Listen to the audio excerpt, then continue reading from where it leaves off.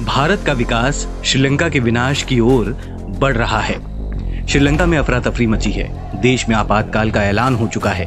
प्रधानमंत्री राजपक्षे इस्तीफा दे चुके हैं, लेकिन जनता का गुस्सा ठंडा नहीं हो रहा है। प्रधानमंत्री का आवास जला दिया गया है।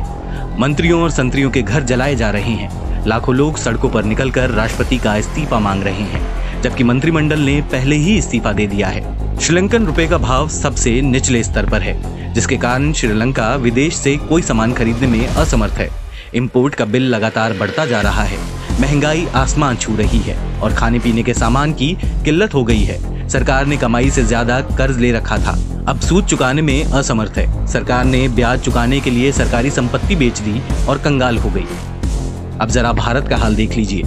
भारत की अर्थव्यवस्था का साइज़ दो दशमलव पाँच, यानी ढाई ट्रिलियन डॉलर है, और इसमें सरकार ने डेढ़ ट्रिलियन डॉलर का कर्ज ले रखा है। मोदी सरकार कर चुकाने में असमर्थ है, इसलिए बहुत तेज़ी से देश की संपत्ति बेच रही है।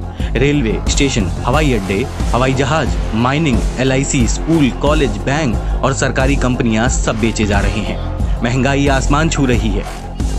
दाल सौ रुपए किलो, आटा सत्तर रुपए किलो, तेल दो सौ रुपए किलो बिक रहे हैं। पेट्रोल, डीजल सौ रुपए लीटर के पार हो चुके हैं। रसोई गैस हज़ार रुपए में मिल रहा है। देश का सोना गिरवी रखा जा रहा है और सरकार बाल झाड़कर, कपड़े बदलकर, आठ हज़ार करोड़ के जहाज़ में बैठकर दुनिया की सैर कर रहे हैं। वाह मोदी जी, वाह!